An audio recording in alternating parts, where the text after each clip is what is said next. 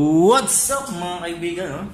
At ngayon nga kami ay off day ulit. So samahan nyo kami sa aming vlog. Kami may pupuntahan sa isang mall. Malapit lang dito sa aming hostel. So samahan nyo kami. So...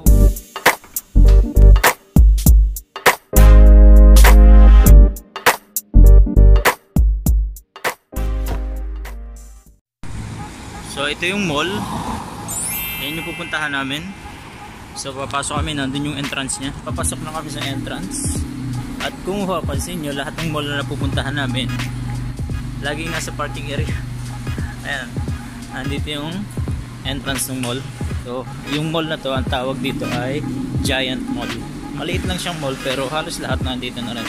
So, ito yung pangalan ng shop, Sports Planet. Tingnan natin kung ano yung laman niya sa loob at kung sale ba siya at meron din nga pala dito ng DIY Ayan. sa atin meron na rin. Check natin. Tara sa loob. Meron ditong sale. Sale sila. Wow. binagsak presyo na nila. NMD Adidas. Ito siya. Okay yung quality niya. Ganda siya. Sale. Hmm. hindi siya fake ha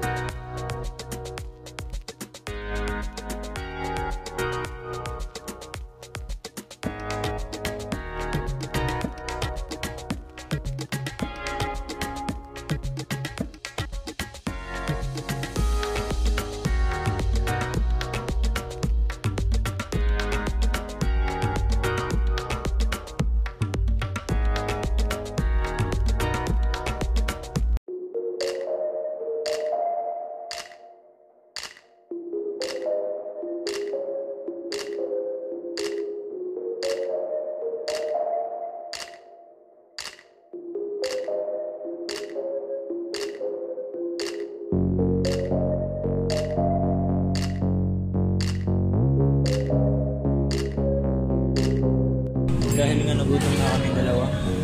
Sa aming papunta dun sa ano. Kakain muna kami sa KFC wow! ang order ko. Yum yum yum. Okay tapos na kumain. At dito nga pala sa Malaysia may ibang shop na pagkatapos mo kumain tulad niyan dapat yung mag-pitas ikaw yung dapat yung maglipit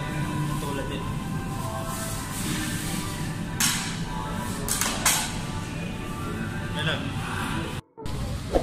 At hanggang dito na lang. Kung nagustuhan nyo yung video na to, huwag kalimutang mag-like, comment, and subscribe. At lagi nyo tatandaan na stay positive and peace!